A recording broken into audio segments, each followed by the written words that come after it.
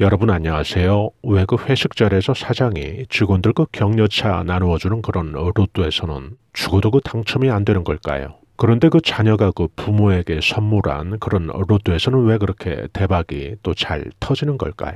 오늘 이것 그 풍수적인 시각에서 여러분들과 함께 간단히 살펴보겠습니다. 미국에서 그 딸에게 복권을 준 여성이 있었습니다. 딸은 그 이혼 후에 어렵게 살아가고 있었는데요. 어머니가 뭔가 좀 딸에게 위로가 되고 싶었던 거죠. 선물을 하게 되는 거죠. 복권으로. 그리고 이 어머니의 그 선물은 딸에게 큰 그 대박을 안겨줍니다. 그리고 그녀는 이제부터 그 딸이 돈 걱정으로부터 완전히 그 해방이 돼서 행복하게만 그 살 것이라고 기대를 했습니다. 그러나 이 어머니의 그 가슴을 가난했던 복권 당첨 이전보다 더 큰 고통으로 끌고 간 것은 누구나 그 부러워했을 바로 그 딸에게 준 복권 당첨의 그 행운이었던 것인데요. 참 아이러니입니다. 이 행운이 또 저주가 됐으니까요. 왜냐하면 딸은 그 모든 돈을 사치와 또 향락에 퍼부었고요. 아무도 이런 딸에게 조언도 또 그녀를 자제시킬 수도 없었습니다. 그녀의 그 딸은 알코올병동에서 초라한 그 일생을 보내는 것으로 마무리가 됩니다. 물론 이미 그 거액 당첨금은 다 소진된 상태고요.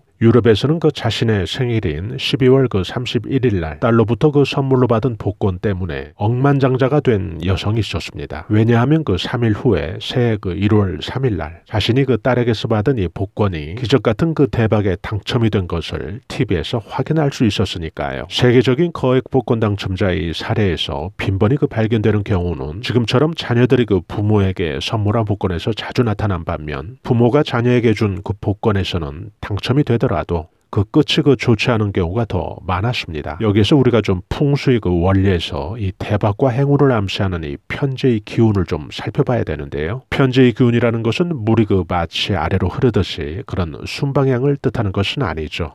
오히려 그 나무가 뿌리에서 그 힘차게 그 수직으로 위로 그 상승하는 그 방향이 바로 편제의 그 기운이 강한 그런 방향인데요. 아랫사람이 그 윗사람에게 준다면 바로 이 경우에 해당이 되겠죠. 편제 기운이 강한 그런 경우죠. 참고로 우리나라 그 복권 역사상 앞으로 그 깨지지 않을 400억 로또 당첨자인 그 춘천의 경찰 아저씨도 자신이 그 심부름 보낸 그 젊은 의경이 그 사다 준 그 복권으로 대박이 났었잖아요. 우연의 일치일까요? 영상을 들어주신 구독자님들 그리고 시청자 여러분들께서 편안한 시간 되십시오. 저희는 다음에 더 알찬 내용으로 여러분들 다시 찾아뵙겠습니다. 대단히 감사합니다. 여러분 안녕히 계세요.